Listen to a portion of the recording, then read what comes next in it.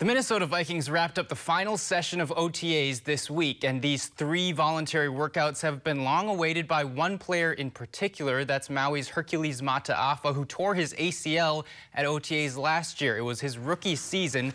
The Lahainaluna and Washington State grad was just trying to make the team after going undrafted last year. Now exactly one year later, He's back fully recovered. The defensive lineman has put on over 25 pounds as he tries to keep up with the size of NFL defenses. Vikings coach Mike Zimmer described him as the surprise of camp so far. Mata'afa didn't return home over this past year, choosing instead to stay in Minnesota and rehab, all with the hopes of making the team.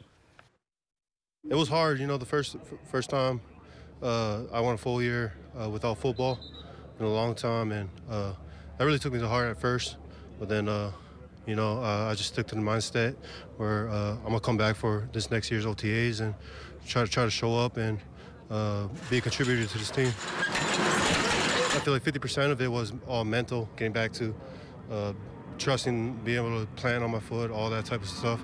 Uh, it was a real progress, and uh, our training staff did a real good job of keeping me around and getting me right uh, for, for, this offseason. The hardest part was uh, staying focused. Uh, being in Minnesota year round uh, this past year was just without being able to go home is just uh, is for this purpose to be able to play football at the highest level. His body lean is extremely low.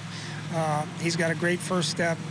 Um, you know, he's still got a long ways to go now. Let's not put him in Canton yet. I feel good. Uh, the weight isn't really a problem right now. Uh, it's mostly getting getting uh, the plays down, being aligned right, and right now it's just fun trying to get fun, fundamentally sound, and then we'll, we'll go on from there. Where'd your name come from? I, I, was the heaviest baby out of the bunch. I got seven siblings. I, I ended up being the biggest uh, uh, baby out of the bunch, and she said that's a Hercules, so that's how I ended up.